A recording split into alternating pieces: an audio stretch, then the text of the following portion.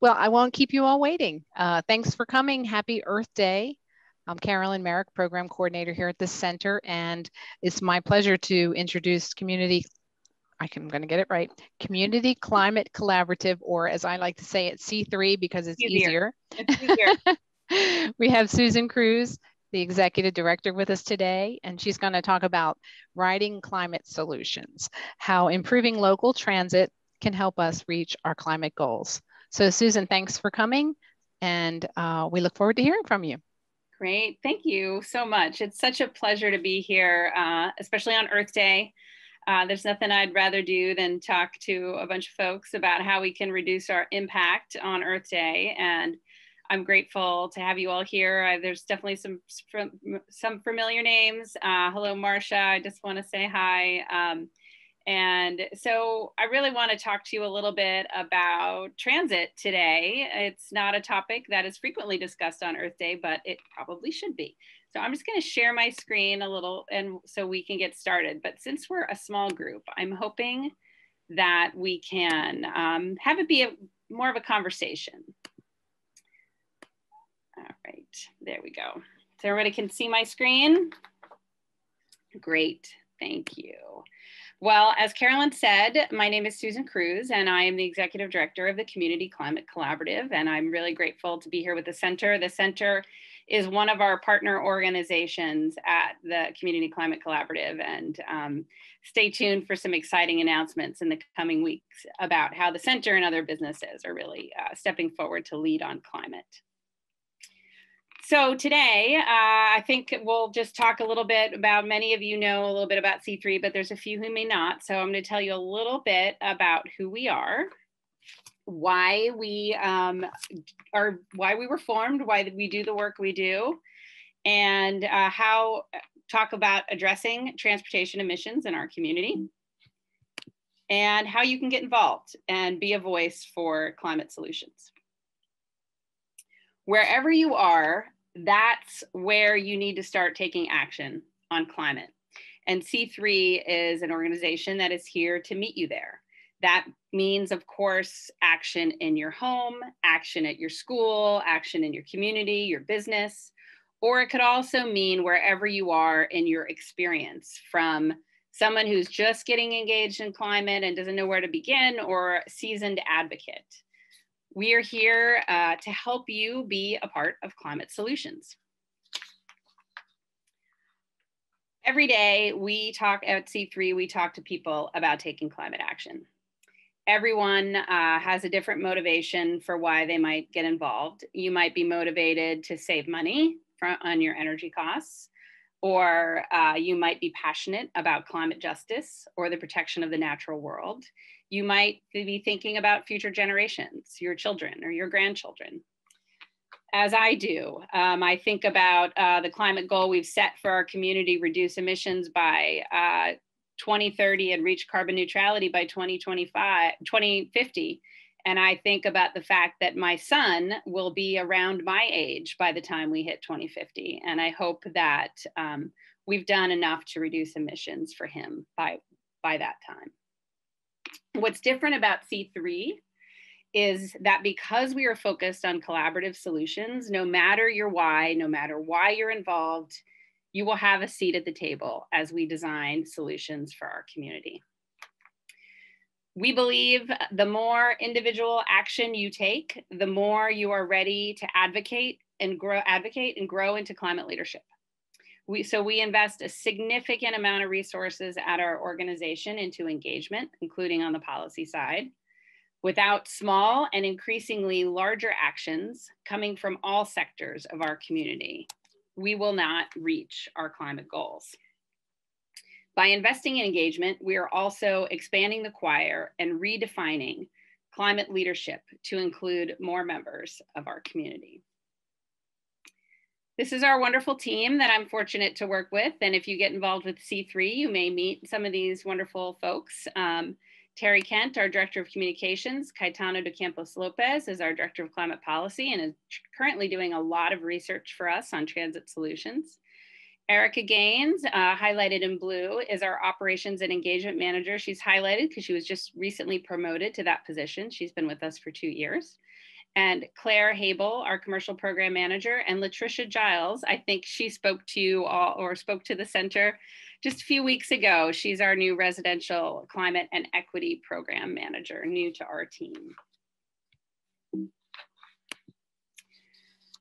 So I also want to present to you uh, this piece of information, which is uh, often we think about climate change as something that is happening far away and is not happening right here in our community, something that's happening where sea level is rising or fires are occurring. But this is actually a slide that includes the average annual temperature for right here in Charlottesville, Virginia, for, from 1895 on the left-hand side to 2018 on the right-hand side. Each stripe is a year and the bluer the stripes are cooler than average normal temperatures for that year. And the red stripes are warmer than average temperatures for that year. So when we think about um, the rising temperatures that even that we're experiencing right here in this community, it's clear the trend where we're headed. And we of course need to think about who might be impacted by those rising temperatures and it is um, more vulnerable members of the community around us, elderly, women, uh, and children, uh, low income communities who have little ability to mitigate rising temperatures through energy efficiency or renewable energy or rising energy costs for that matter. And so, climate change, uh, when we think about it as C3, we're thinking about how to create solutions that don't just lower our emissions, but also ease the burden of the reality that, of warming temperatures for all members of our community.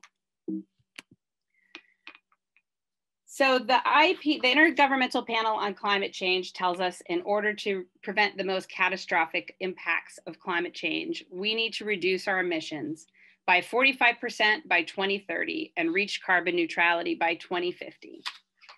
Communities around the Commonwealth and across the nation are responding by setting their own goals to reduce emissions.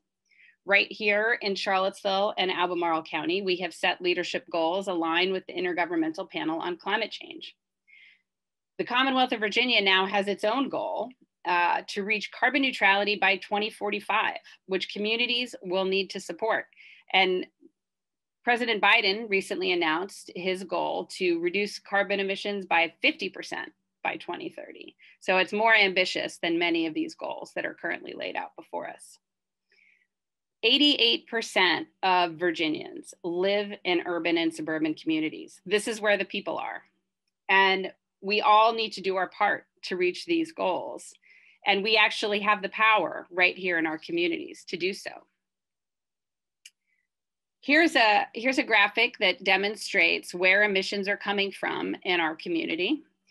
And you'll see that transportation, which is what we're talking about today, is 26.6% uh, of emissions for the city of Charlottesville and 48% of the emissions for Albemarle County. So, unless we figure out ways to reduce our emissions from transportation, we're not going to reach our climate goals. I also always, it's always really important to me to point out on this slide the slice of the pie um, labeled municipal. Those are the amount of emissions by our local government. So even if our local government set out an ambitious path to make their governmental operations carbon neutral, put solar on every building that they had, we would only reduce our emissions by 5%. So we all need to do our part uh, to reduce emissions. Every business, every school, every home. Um, and those of us who can do more need to do more to support those who can't. So one, top, one, one way I want to get into the topic talking about transportation, and you might be surprised that I'm going to talk about building energy for a minute, but I think it's relevant uh, to help you understand why we're uh, putting an emphasis on transit in our solutions a couple of summers ago, uh, pre-COVID, C3 went to Southwoods uh, Trailer Parks Back to School Festival, uh, a largely immigrant trailer park community, and we asked the community this question. We act, this is actually the paper from that event where we asked residents how much they spent in energy in their on their energy in their homes each month. And we were quite surprised by the responses from the community demonstrating that many members of Southwood were paying nearly $500 a month in energy costs. Some actually um, put it at 500, but said they actually pay more than that. Um, we sort of put an artificial ceiling on this scale, but the vast majority were well over $300 per month for a trailer. Now, I don't know what your home energy bill is like, but mine is not anywhere close to that. And my home is significantly larger than a trailer. So, this is what we call energy burden the portion of a household's income that is spent on energy. Anything that is greater than 6% is considered to be unsustainable energy costs. If you're spending more than 6% of your family's income on energy, you're probably going to struggle with paying your bills and keeping your housing affordable. One quarter of all households in the city of Charlottesville bear unsustainable energy costs. We did some research we released last summer on Charlottesville's energy burden. We hope in the next year to be able to do a similar uh, report for Albemarle County. Um, so that's one quarter of the households in our community have trouble paying their energy bills. So if we take Southwood, for example, there are 350 trailers at Southwood. Let's assume those residents are paying let's be let's be um, conservative. Let's say they're spending $250 a month which is still far more than i pay in energy for my home that's $1 million a year in energy costs from one of the most uh, vulnerable communities in our in our area it is also 3,644 tons of carbon per year. So, if we want to reduce emissions from the residential sector, we need to make sure we're lowering energy costs in these households where energy bills are very high. We can have a more significant impact in our reductions and also achieve a simultaneous community goal of making uh, housing more affordable and more stable. So let's translate that to the transportation sector. This is my old um, 1998 Toyota Corolla. Uh, so I had that car for a very long time, only recently uh, had to let it go. So um, now we're down to one car and we're trying to save up until I can get an electric vehicle.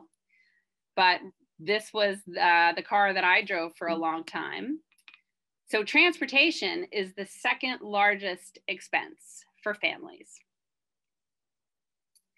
An average family, average amount spent by a middle income family is around 20% of income on transportation costs.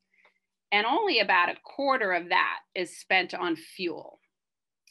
So, you know, most in middle income, most people are paying those transportation costs on car payments, right? They've purchased a, a vehicle and they're making a car payment, and a quarter of that amount is spent on fuel. The average amount spent by a low income family is 30% of income on transportation, and the vast majority of that is on fuel costs. Car payments are not something that low income families can typically sustain. And so those fuel costs are just exorbitant for these families if you want to just take it down into miles per gallon and how much how efficient cars are a vehicle at 35 miles per gallon versus a vehicle at 25 or 20 miles per gallon is a 1900 $916 difference per year in cost. So the more income you have the more you're able to buy a more efficient newer vehicle the fewer carbon emissions you have and the less it's going to cost you. The carbon savings from a 35 mile, miles per gallon car versus a 20 miles per gallon is about 2.6 metric tons of carbon per year. And so if you extrapolated that out into the hundreds or thousands of residents, you begin to see where it would be good to not only solve a community issue of access uh, to transit and ridership, and if we're going to create more transit riders, having a focus on service to our underserved communities, our communities who need to reach destinations to work and get kids to school, go to doctors, go to community centers. That's where uh, we believe their focus needs to be. So this is exactly what we're researching right now. We have a transit and equity study underway. Um, and we're essentially looking at the benefits, the economic, social impact, and climate benefits of expanding transit ridership with a focus on equity. And the purpose of this research is to A, make the case that I was just trying to make very briefly, uh, but more in depth with a lot more data and statistics that by expanding transit ridership in this way, we will decrease our transportation emissions a lot faster than if we just expand transit ridership generally. If you're taking a rider who owns a hybrid vehicle or an electric vehicle or a more fuel efficient vehicle and putting them on a bus. That's great because we're getting fewer cars off the road. Asphalt also creates carbon emissions, just so everyone knows. Roads aren't great, parking lots aren't great for climate. Uh, also creates urban heat islands, which can be dangerous, climate impacts. Um, so it's great to get people, no matter what, out of their cars and onto buses, but it is also um, you're going to reduce emissions less quickly with a focus on middle and upper incomes uh, reaching transit than you are of lower income communities. So our research, through our research, uh, we want to make that case. We also want to under, uncover barriers to mobility that our community is experiencing. We conducted a community-wide survey. Uh, I've got about 300 responses, which is not bad for a community survey. And we conducted a series of focus groups with the last couple wrapping up this week and early next week. Uh, one focus group, you can see um, this uh, graphic here on the left, um, our partner Sin Barreras uh, helped us put together a focus group at all in Spanish. Uh, we had a resident tell us during that focus group that um, they live near Core Brothers and the closest bus stop for them would require them to cross 29 North um, and did not feel safe doing so. And so this is just uh, an issue in our community we need to address. And these focus groups are really helpful in order to be able for C3 to tell these real life stories of barriers that people are facing to transportation and we will release our final report on this topic in June. So there's a lot more digging we need to do and a lot more research. So be on the lookout for that report in June. And um, one of the other things that we want to do with it, and we're hopeful that this community survey and focus groups will tell us, is what are the community, what recommendations do we want to make to local transit systems for how to improve it? So we hope to not only re research the economic um, social impact and climate case for transit expansion with a focus on equity, but also make some recommendations. Um, and that's part of the community survey and focus groups. What does the community want to see in terms of change with transit? And then we can make those recommendations to local decision makers. So it will really be a two part report. So be on the lookout for that. Expected benefits of expanded transit with a focus on equity. Of course, it provides accessible, affordable, and reliable public transportation, uh, which we all need. It benefits residents of communities of color and low income households that must travel to obtain better jobs um, and secure educational opportunities and get good quality health care. Um, housing, affordable housing is an issue in our community and distance that folks have to travel to have secure uh, job opportunities is just really critical and being able to rely on transit rather than a, a an unreliable old car um, with high fuel costs to get there is a substantial improvement. We'll also reduce our transportation energy burden levels, um, potentially reducing vehicle miles traveled in our community, which is really important. And when we're thinking about infrastructure costs and repairs, the fewer um, miles of car travel that we're generating, the fewer infrastructure repairs and costs that we will have. Um, C3 also, we um, just, just throwing this in here because it's also a transportation issue while not transit. This year, uh, we worked with Diantha, thank you very much, um, at Albemarle County and uh, eight other localities representing more than 1 million Virginians in support of legislation that was before um, the General Virginia General Assembly for clean cars to put to tie um, the Commonwealth to improved vehicle emission standards. And we it was great to be able to work in coalition with these communities. You can see here uh, Mayor LeVar Stoney of Richmond tweeting a copy of our letter and um, allowing these localities to step into climate leadership and advocate for a bill that ultimately successfully passed in the General Assembly, which will help our community lower its transportation emissions from cars. Next year, we're hoping maybe there'll be some transit legislation we can back. So C3 um, you know, we, I, as I mentioned, we do a lot of community engagement, a lot of talking with folks, including on the policy side with our focus groups and community surveys. Um, but we also do sign on letters and recommendations. And um, so if you sign, sign up with our organization, you can be a part of those actions that we take. We participated heavily in Albemarle County's climate action planning process and submitted a letter uh, of support for the legislation. And we submitted a letter with some recommendations that were ultimately included by the wonderful county staff who led the effort. Um, and we're proud of Albemarle County's climate action plan, and we're looking forward to the next phase of their process. They're going to be um, releasing their emissions inventory here sometime soon and uh, getting into phase two of climate action planning. And we hope we're hopeful that Charlottesville's climate action planning process will resume again soon.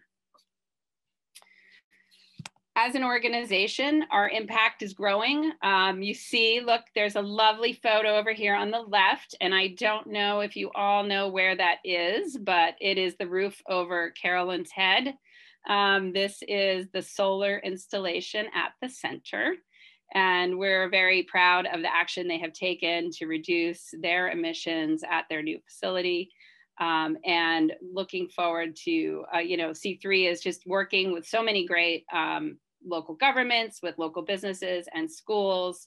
When I leave you this afternoon, I'm actually headed over to Walker Upper Elementary to deliver 400 climate kits to fifth graders for Earth, Earth Day one of which is my own fifth grader. So I'm excited to do that when I leave you here today at four o'clock. So we need you. We need you to be a part of these solutions, to be a part of um, advocacy for climate at the local level. Um, as Barack Obama said, we are the first generation to feel the impacts of climate change and the last generation who can do something about it. So we hope that you will go to our website and sign up at theclimatecollaborative.org backslash one voice. Uh, if you do so, you will receive newsletters and updates from our organization. You can learn about ways to reduce your impact. You can add your voice to policy advocacy. Actually, by signing up, we have a mechanism where we will automatically add your name to C3 policy letters and recommendations to local government. We will email you before each letter goes out to give you a chance to opt out to make sure that this is something that you truly support. But you can sign on and be automatically added. Um, and of course, you can always support the work of C3. Um, we've got more more and more people are ready to take action. It is a wonderful thing in our community how many people we are talking to and working with businesses households schools. Um, but you know we're often spread thin and we need to make sure there's a a c3 uh, person there to answer the call when people need help. So by supporting us you can uh, help make sure that happens. So i'm going to take questions, but I just want to put this up for a minute. Um, and I'm actually hoping our questions, in case you need uh, any of this information, uh, I'm hoping our, our questions can be more of a conversation. I would love to hear your impressions of transit in our community and things you think need to be improved. So I'll stop sharing so we can have more of a face-to-face -face conversation. It's lovely to see you all. And everyone, um, if you want to speak, you can unmute yourself. If you don't know how, you can wave madly and I'll try to do it for you. Um, I see that um, somebody had asked before yeah. where buses fit into the pie chart. Buses are actually municipal transport emissions, so they were pre- they're a pretty small amount in terms of their individual emissions. The community transport slice is really all of our driving. Municipal emissions for transportation are, are, are even tinier than municipal government. All right, and I see um, Peter asking how accessibility to bus stops fit this discussion. Having benches and shelters and safe unbroken sidewalks to get to and from bus stops, absolutely. Um, that is certainly something we are going to be talking about in our report. One of the the things um, that many people notice about public transportation is the nicer, the, the sort of wealthier the neighborhood, the nicer the bus stop is and um, the lower the income of the neighborhood, the um, more broken or less protected um, the bus stop is. I don't know that that's necessarily true in Charlottesville, um, where you know that may come out in our report, but that is something that is generally noted of transit systems, sort of universally across the country. Susan, can I make yeah. a comment? Yes, please. Um, as many of the people on this screen probably know, our transit system, CAT, is owned by Charlottesville. Uh, it is the Charlottesville um, transit system. Albemarle County does not have any ownership. Um, one of the things that we are working right now with CAT and with Virginia Department of Transportation is around shelters and concrete pads on, on the Albemarle County bus stops. The reason that Albemarle County doesn't have any shelters or actually concrete pads in many places for our riders is because there has never been a memorandum of understanding, a contract between CAT and VDOT around right of ways. There's no way to put a shelter on a VDOT road in Albemarle County right now we are working behind, have been working for, I don't know, months to get that contract in place. It's not a contract that involves Albemarle County. We're just trying to negotiate that work. And it's interesting because at the Regional Transit Partnership meeting at four o'clock this afternoon, CAT is going to give us a presentation on, on updates around this infrastructure piece. So I'm pretty excited about this work. hey, I'm excited to hear about it we need shelters, right? We and I understand we can't have a shelter everywhere, but there are critical places in Albemarle County and in cat in the city probably, but certainly in Albemarle County where we need bus shelters. Thank you.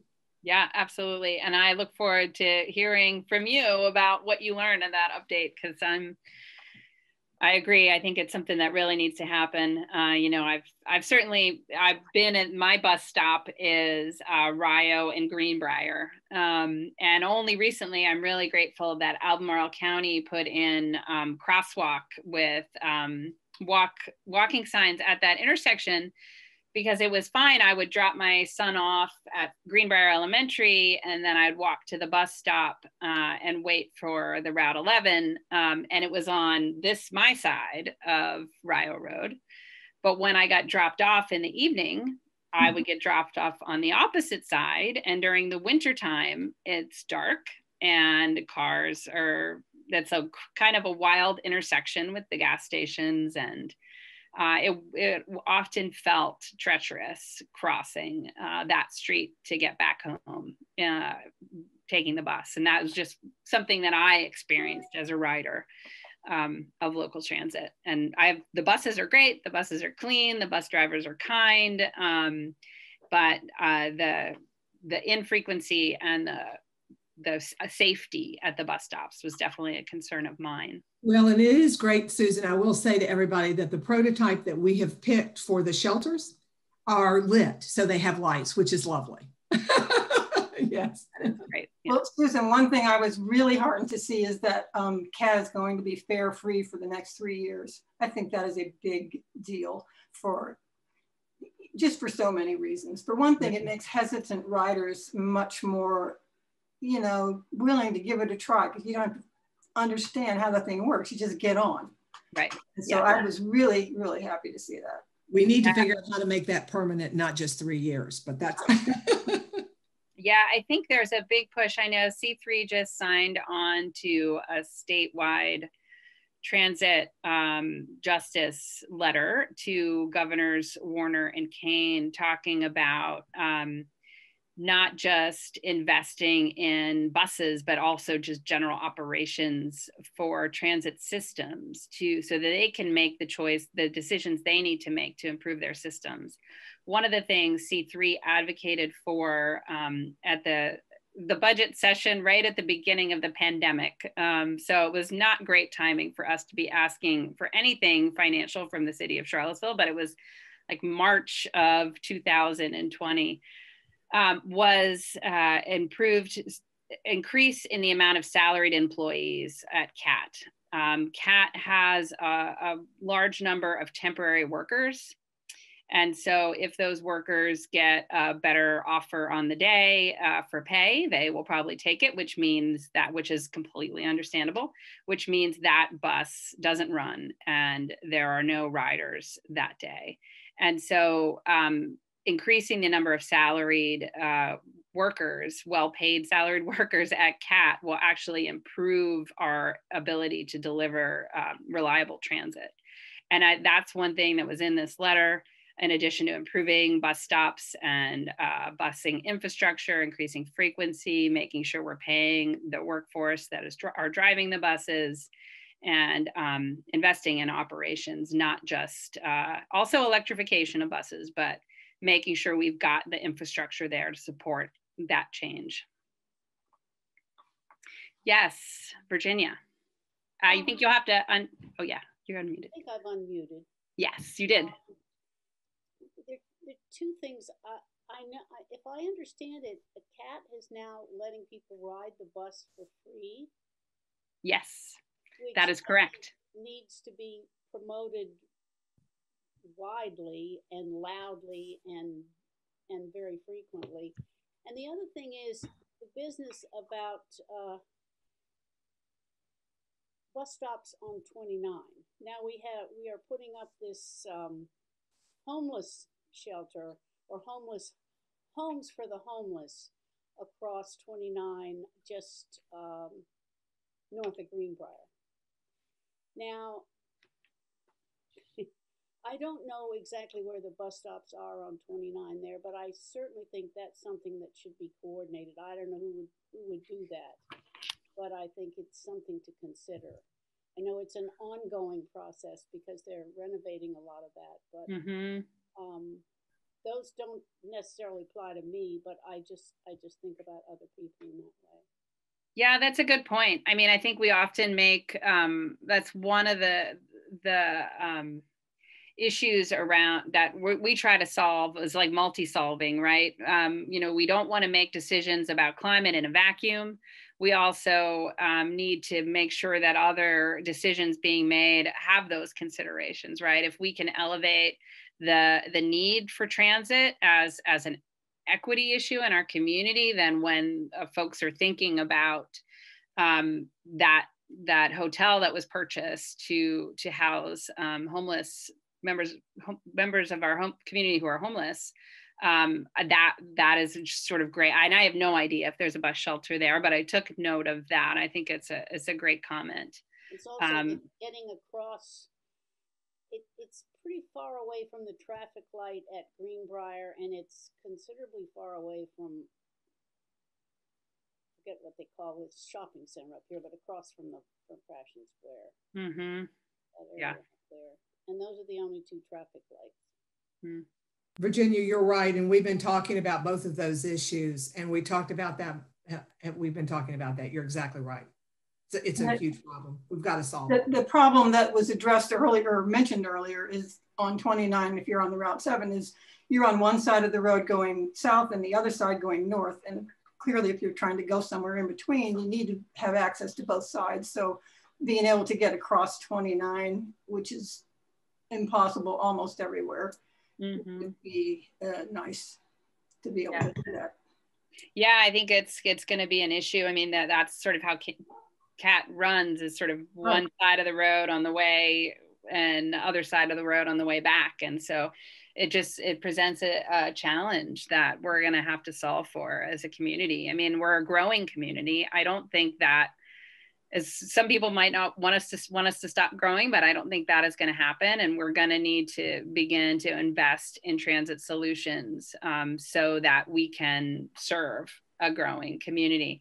I'm curious um, if folks, if there's ever been feedback at the center. I don't mean to put Peter on the spot, but um, from your community of hearing about transit needs and what folks' experiences.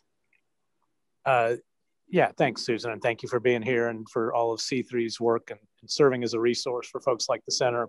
Uh, we do have a demand for uh, public bus transit, and we are waiting for the city to uh, loosen some more of its COVID restrictions. Um, they have pledged to add a bus stop at the center right at our front door. and we invested about $50,000 of our own funds or community funds that we raised to allow the parking lot, um, you know, to be to, to handle the big buses. It's not a you can't just have a, a bus run through anything without cheering up the parking lot. So we invested in that. So we expect that to happen as soon as the city um, uh, loosens its restrictions. Uh, and that was an important consideration when we identified a property for the new center. Um, we couldn't find anything that was on a current bus stop, but the Route 11 was in the works at that time. And we felt that there would be uh, the ability to uh, Route 11 just jumping into our parking lot and then going back on the route. So that will be happening uh, soon. But it's part of what prompted my question is people say it's that's fine and you'll have a shelter over um, the bus stop and you'll have place to sit at the bus stop because a lot of older adults can't stand at a bus stop for five, 10 or 20 minutes. Mm-hmm. They just can't stand that long. And that's even on a nice day. And then you throw in rain or heat and whatnot, it becomes a real big bear And then we do hear the, the feedback a lot about um, even if I can deal with those issues, I can, there's not a complete sidewalk for me to walk from my house to the stop. A lot of stops with no sidewalk at all. And we don't know, but Diantha knows we uh, are working with our partners at Charlottesville Area Alliance to uh, try to do a, an inventory, not just of bus stops but, and shelters, but how accessible they are, um, particularly for people with mobility issues, which a lot of older adults have. So uh, I'll follow up. With, I would what, love to know the results of that. That's amazing. Thank we, you for doing that research we're we're we think we can do it. It's going to be involved, but I think we can get the people power and maybe partners like C3 to to help us with that because our theory is what you stated earlier is not only are there problems, but the likelihood is that the bigger problems are in the most needy area. Mm-hmm. Uh, Mary Coleman of City of Promise yesterday, and we talked about that, and she said, "Yes, I'm glad you brought it up. It's absolutely an issue in a lot of the neighborhoods." Um, that they're focusing on at 10th and Page, West Haven, uh, and Starr Hill that those um, bus stops are um, all but worthless because of the reasons we've we've mentioned. So it's a, a very big need for um, anecdotally, we've not done a survey, but anecdotally, um, center users do need that. And a lot of folks are talking of, you know, today I can drive, but I want to be prepared for the day that I don't drive, either because I can't afford it, um, I can't do it physically, or just for environmental reasons, I no longer want to drive. I'd rather use the public transit. Mm-hmm. Well, if you are coordinating a survey and you need a call for volunteers, I would be more than happy to post, you know, a call for volunteers to get people out looking at all the bus stops, assign people survey responsibilities. Um, yeah, I think that would be a great thing. I think Latricia would probably love to help with that. So please keep us posted and let us know.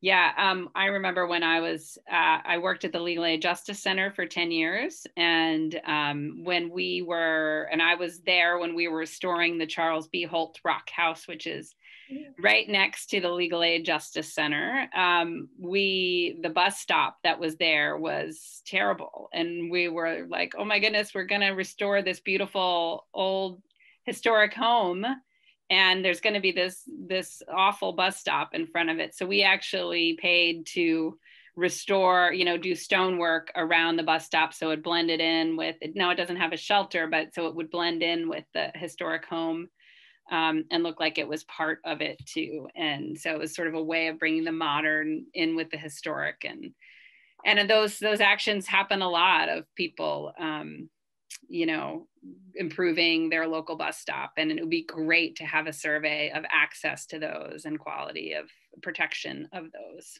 Bus stop might might be what a, try try the system of adopt a bus Stop.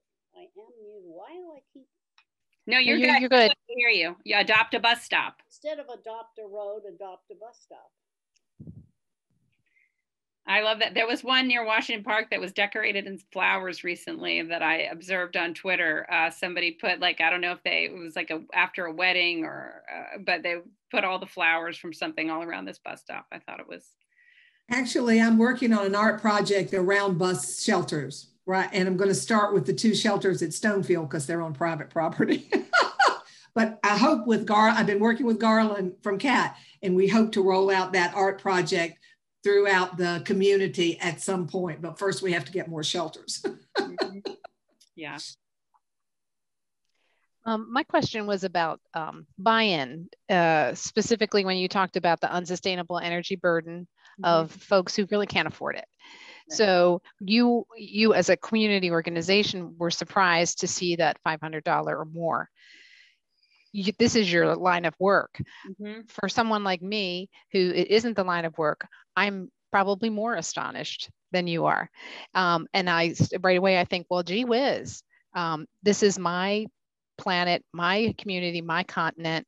If we take care of this, I don't want you know, this is coming from a capitalistic perspective. I'm trying to figure out a buy-in.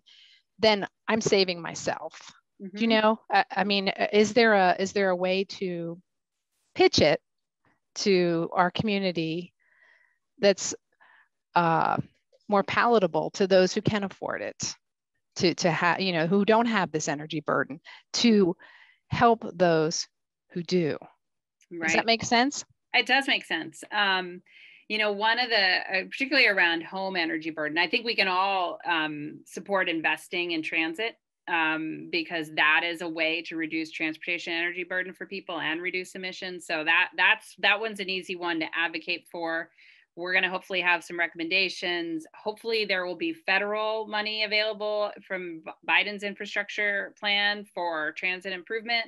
Also, um, I think the city and the county have used CARES Act money, um, and so we'll we'll see what's available from the state and the federal government down the road but advocating for investing in transit is absolutely something everybody can do. And um, in terms of people being able to take their own dollars and give it toward a project in uh, a, a, low income to reduce energy burden in a, in a low income household.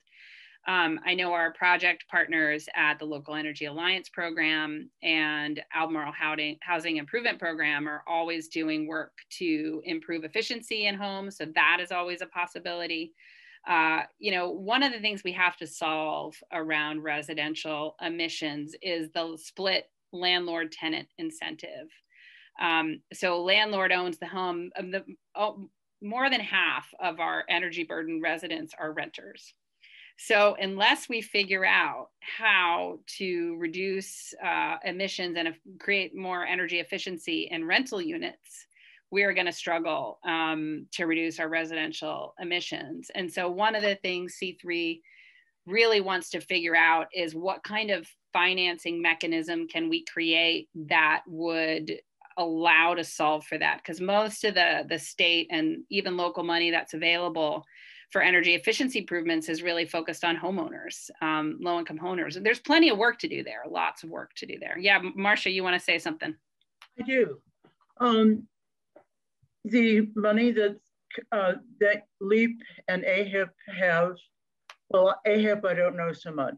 LEAP is equally uh, available to renters as long as they get their landlord's permission. And uh, the, and the cap, the income caps are quite generous this year, and they've got more money to do uh, uh, that they can use to do things that were not on the Dominion standard calendar uh, um, menu of uh, uh, they can replace uh, uh, your furnace if it's really bad, your AC. I mean, big things. Uh, uh, so I've been on a toot uh, to publicize this to the people who need it. Mm-hmm. Um, I spoke to City Council uh, last Monday, um, knowing that the council pretty may not know about the new things, but they their help Charlottesville helps to subsidize LEAP. They know, but the people listening don't. And uh, son of a gun, I found out uh, that uh, somebody had live tweeted my remarks, and we got they're getting 15 more signups. And uh, yeah, nice. That's great. So, Good job. And then I, I sent the same letter off to um, Charlottesville Cares, and we'll see if they want to pick up on it. We need to get through to low income households uh, who don't know what's available uh, or maybe don't believe in it. Maybe they're skeptical mm-hmm. because the word of mouth is not working on their block. Yeah. Uh, so, uh, yeah, I don't think funding mechanism for income limited people to get their houses uh, made much more energy efficient, efficient is the problem. It's getting people to, to know about it and use it. And Leap is asking to heck get more clients. They, they, okay, so we need to help them. Yeah. Yeah, we definitely okay. need to get the word out. I also know that Leap's uh, income threshold for seniors is pretty astronomical. Yeah, it's pretty high. 150,000 100 $150,200 this year. Um, and it's half that 75k 75 100 for if you're not don't have a somebody over 60 in your in your household so if you make if you make anything under that you can get you qualify for leap service qualify. in your home yeah yeah and, and they can come and do an energy assessment and um, put in insulation, replace light bulbs and uh, fixtures. And um, Mark is saying they now have the ability to do furnace replacements. Yeah, Peter. Susan, um, back to transit. We talked a lot about the bus stop accessibility. Um, what other barriers do you see to people using transit in Charlottesville Albemarle? The biggest barrier that I see is frequency. Um, and it is just uh, particularly for the work workforce community. Um, if you have to wait an hour for the next bus, if something happened and you didn't get out the door right on time or um, you you know uh, you know for me the the heading downtown is great. You know i get there at 8.15 get on the bus i'm downtown by 9 but then my bus home was either at 4.30 or or 5.30 uh, and th- there i either needed to leave work early or stay late. And it just was a real was a barrier to me um, in wanting to take the bus. But I think for people who um, need to be at a job and if they miss work, if they're late to work, um, that they could lose their job and their job is their lifeline. Uh, knowing that they have to wait an hour if they miss a bus, it just they don't feel confident enough to, or if the bus is late, um, to, to rely on it and so they'll purchase a vehicle and have and get in the habit of taking that vehicle so we really need to increase frequency in addition to bus stops and access. It's really the, the frequency. The buses should run on 15 to 20 minute intervals. You should shouldn't have to wait you know an hour for the next bus if you miss one. What also and, and i was on the cat advisory committee for several years and, and that certainly was one of the barriers that came up constantly. What about the the image of public transit in our area? You know, in a big city, everybody uses the public transit. The image locally is it's only for low income people. Do you experience that or hear that? And if so, any brilliant ideas on how to address that challenge? I mean, we have been trying to improve like we actually had a plan i, I called this talk riding climate solutions uh, we actually had a campaign called driving climate solutions where we were putting people in an electric vehicle for the day and sharing their story I really want to have a riding climate solutions where people take transit for the day and talk about their experience and what they liked about it um, and share it on social media. Um, but of course, COVID has made that um, difficult. People not really wanting. To, I think probably the biggest uh, image problem that transit has right now is COVID um, and being close with other people on the bus. Uh, we've done some PSA campaigns with CAT. Um, Transit is a climate solution. C3 and CAT are both on the radio together and a public service announcement. And so you may hear that radio ad around. Um, it's, I think it's still running right now. CAT has done some great uh, social media videos um, highlighting their workers. I, I, would love to have a meet the CAT drivers uh, element where you can learn your bus driver. I'm, you know, Ben and I drive the route eight, and um, I'm excited to see you because, you know, whatever, and sort of meet the transit drivers so people can get to know their local bus drivers and just feel comfortable in those spaces. So, I, yeah, I think there's a lot of work to do. I think image is is an issue, but it's more just ease of of getting in your car. Um, I think that's actually the bigger barrier rather than the image of public transit. Is just so easy to get in your car and go downtown and you know, but the more we, you have to circle around trying to find a parking space, the more you're like, why don't I just take the bus? so easy parking is um, a, sort of a barrier to transit expansion too. Yeah. Um, I haven't, we haven't said anything about that, these uh, little scooters as a solution for the electric scooters that you can get just for the ride that you were you know, if you're doing something infrequently and you don't need a car, um, it uh, you have to be physically able to um, to ride them. You have to balance and all of that. But uh, what do you think? Where does that fit in? Do you think, Susan?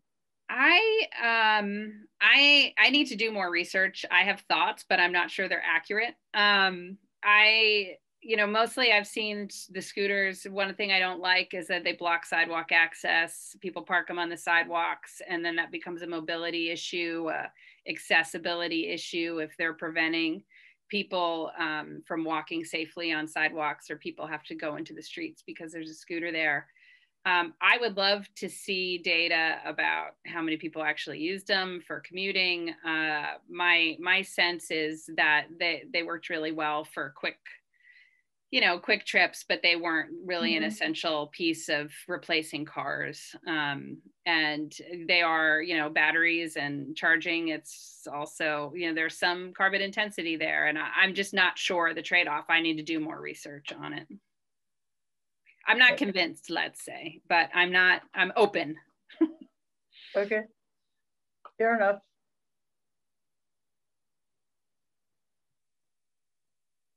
Any other thoughts? Well, you're a lovely group. I, I really appreciate it. I'm happy to stay on a few more minutes if anybody else yeah. has any questions.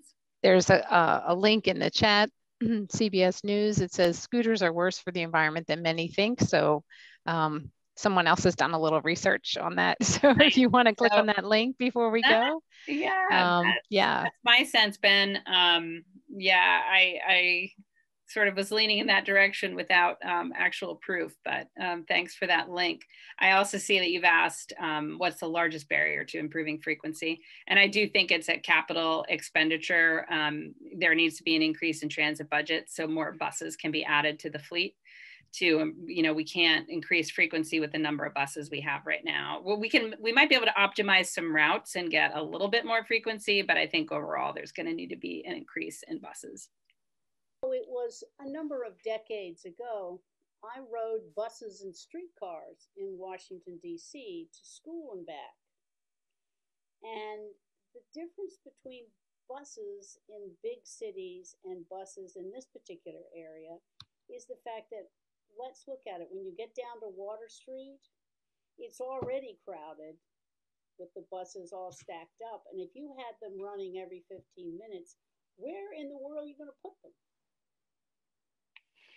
Yeah i mean i don't i don't think they would be all down water street at the same time um you know they would figure out a i i i, think that actual uh, there needs to be more than one transit hub I think Albemarle County needs a transit hub.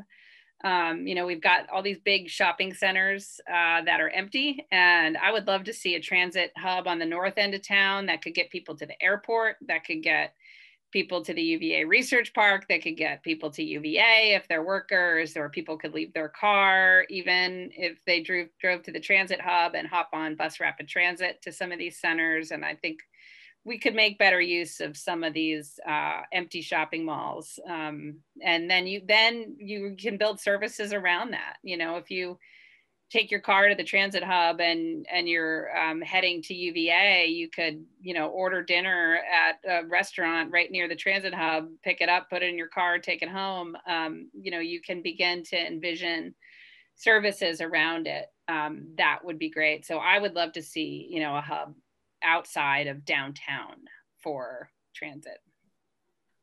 What a great idea.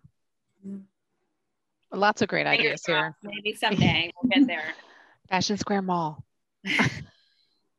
or even um, the one on the north side of Rio that's so empty. Although I think it's something's going in there now. I'm not sure. It looks like mm-hmm. it's being built out. But. Yeah, it's a new grocery store. I mean, I'd love to. I don't have to ride the bus to that grocery store. I can walk there. But yeah, that'd be a great location. I mean, there was transit in there uh, you know, back in the day, but no longer. Hmm. Yeah, and then you could go grocery shopping before you hop in your car and go home, right? There, there is um, significant talk of adding a transit hub um, at that uh, the 29 Rio intersection, perhaps when they redo the um, shopping center where ACAC is located. It's still just on the wish list, but it's part of the Rio 29 small area plan to develop such a transit hub there. That would be awesome. Yes, it would. I'm all for it. Let's do it. Yeah. um, there was also a comment from Ben. I'd love to see a railroad line between Charlottesville and Richmond one day, just to. Yeah, I think um, there was actually a big transit deal, uh, rail deal that was announced in the state of Virginia. Northam announced with uh, Secretary Buttigieg um, more from Central Virginia to DC. So hopefully we'll get there. Um, you know, I was listening to actually, it wasn't even a climate podcast, but um, it was a, a guy who moved here from England and he now has this podcast uh, lost in the pond or something like that and it's all about uh, understanding american culture from a british perspective and he said the thing he missed most about um, living in Europe was the um, just the fast trains where you can get where you want to go. Um, and that that it's just crazy that you can't travel in the United States that way. So well, thank you so much, Susan and C3, and thank you all for attending and all your activism and input. This has been a tremendous yeah. experience for me. So thank you. And uh, we did record it and eventually we'll put it on our website as well. So um, you can share that with others. Thank you all. Thank you, Carolyn, for hosting and um, all of you for your great insights and input. I really appreciate the conversation. It's helpful to me.